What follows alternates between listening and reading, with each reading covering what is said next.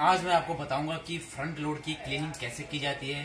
Reason ये है कि अगर आप फ्रंट लोड ले रहे हैं, उसके बारे में आपको श्योर होना चाहिए कि मैं मशीन को क्लीन कैसे करूँ। क्योंकि बिकॉज़ जब मशीन यूज़ होती है तो उसमें कई कबार बार कचरा फंस जाता है कॉइन्स फंस जाते हैं बटन फंस जाते हैं, सुइयाँ पिंडी सब फंस जाती है।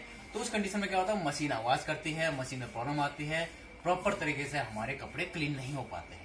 तो आज मैं आपको बताऊँगा इस डेमो में कि मशीन को क्लीनिंग कैसे किया जाए।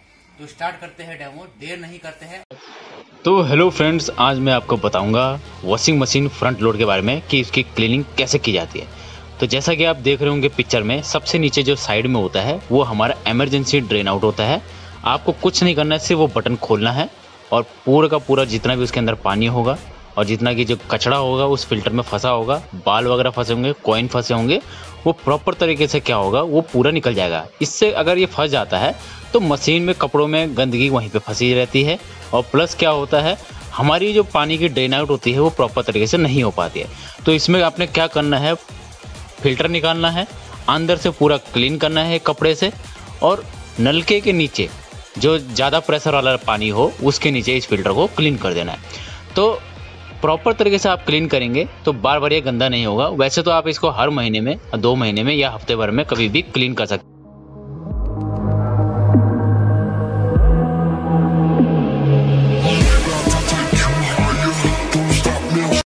इनलेट पाइप जो होता है, इनलेट पाइप भी आप इसका प्रॉपर तरीके से क्लीन कर सकते हो।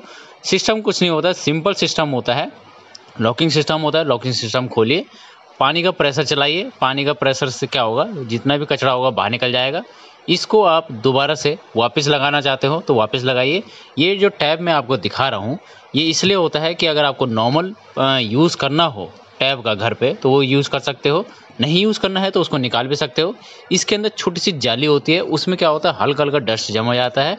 जिस डस्ट की वजह से क्या होता है, पानी का प्रेशर कम हो जाता है और मशीन की जो टाइमिंग होती है, सर्कल, वो बढ़ जाती है।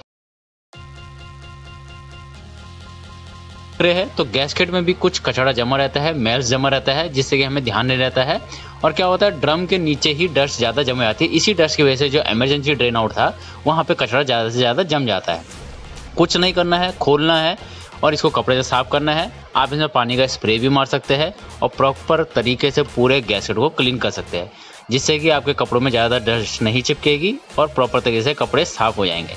लिक्विड डिटर्जेंट अगर ज़्यादा यूज़ करते हैं तो बेटर रहेगा फ्रंट लोड के लिए, क्योंकि लिक्विड डिटर्जेंट जल्दी से जल्दी डिजोल्व हो जाता है कपड़ों में और प्रॉपर तरीके से कपड़ों की वॉशिंग करता है।